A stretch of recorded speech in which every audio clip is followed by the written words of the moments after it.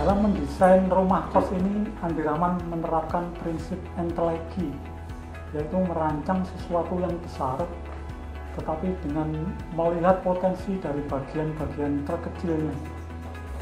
Sama seperti sel dalam tubuh manusia yang merupakan bagian terkecil, tapi dalam sel itu sudah menyimpan watak, karakter, dan sifat dari manusia, bahkan sampai ke perwujudan fisiknya. Demikian juga dengan roster ini yang merupakan sel dari keseluruhan bangunan ini. Meskipun kecil tapi dia menyimpan seluruh karakter dari bangunan ini. Jadi dari roster ini kita bisa belajar konsep-konsep perancangan yang dipakai di dalam perancangan rumah kos ini. Yang pertama, low budget, low maintenance. Di roster ini harganya tidak mahal, dan sengaja dibuat unfinished dengan warna semen sehingga tidak perlu pemeliharaan yang ribet. Jadi tidak perlu dicat tidak perlu perlakuan khusus. Akhirnya juga di dalam bangunan ini dengan penyelesaian berupa semen plaster kemudian semen aji semen roll juga penggunaan material recycle seperti kayu peti kemas sehingga secara keseluruhan bangunan ini menjadi low budget dan low maintenance.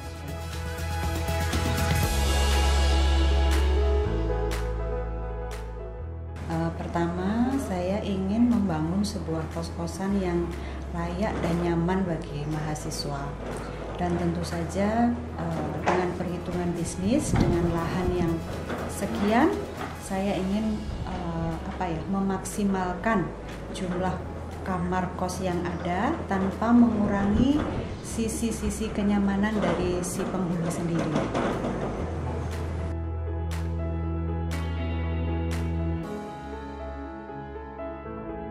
Dari roster ini kalau ditidurkan, jadi pasti ada ruang terbuka dan yang tertutup.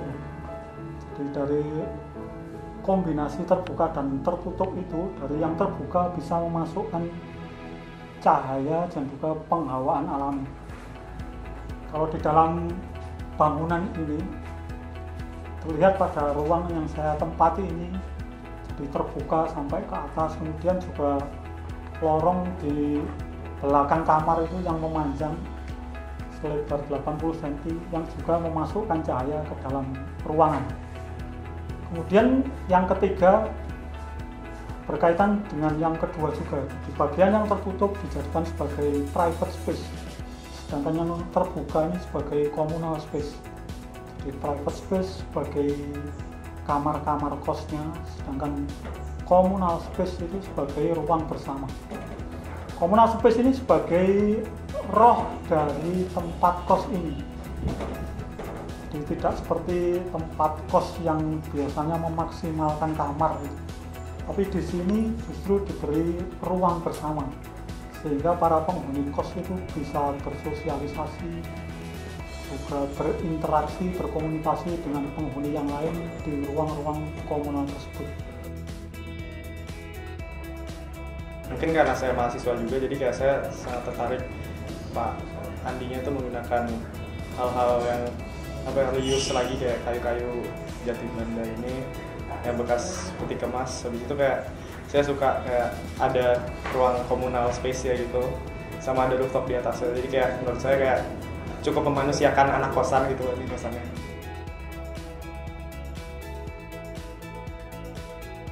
Memang sebenarnya saya pinginnya yang minimalis tapi kemudian kembali lagi ke budget budget dari pembangunan rumah ini. Kemudian akhirnya kita sampai pada titik temu sama si arsitek dengan Pak Andi uh, dengan budget sekian bisa memberikan desain seperti ini tanpa mengurangi sisi kenyamanan dari penghuni.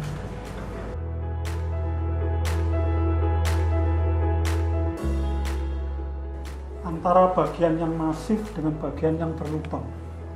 Jadi ini juga digunakan di dalam mendesain wujud dari tempat kos ini.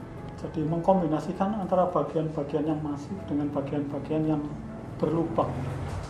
Ini juga menjadi sebuah sinergi dengan ruang terbuka dan tertutup yang tadi sehingga pencahayaan dan penghawaan di tempat kos ini menjadi lebih optimal.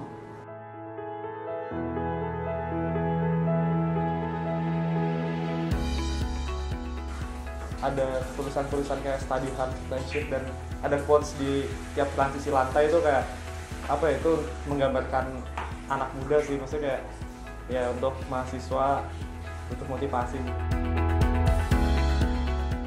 Jadi di dalam roster ini ada celah yang bisa dimanfaatkan. Dan itu yang kemudian dipakai juga di dalam mendesain dengan memanfaatkan celah baik secara konotatif maupun denotatif. Jadi antara lain seperti membuat kamar mandi di bawah bordes kemudian di bawah tangga juga bisa dijadikan ruang janitor juga di bagian depan yang area parkir kendaraan itu ada parkir untuk sepeda pancal atau bicycle parking. Yang itu yang jarang ada di tempat kos yang lain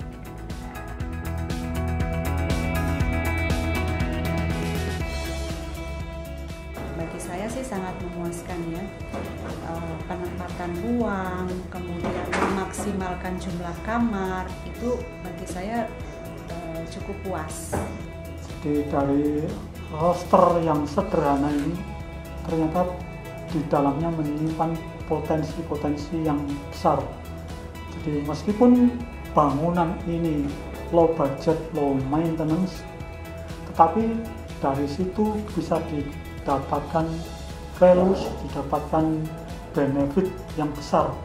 Jadi seperti adanya ruang komunal kemudian juga pemanfaatan bahan-bahan yang unfinished. Maka tidak salah kalau dari roster ini dan juga dari seluruh bangunan ini kita bisa memunculkan satu kata yaitu less but more Sebuah ruang yang terasa nyaman dan terlihat menarik sebenarnya bisa berasal dari material yang murah dan sederhana. Tidak harus mewah, tidak harus halus ataupun mengkilap. Dan itu yang berhasil kita wujudkan di proyek ini.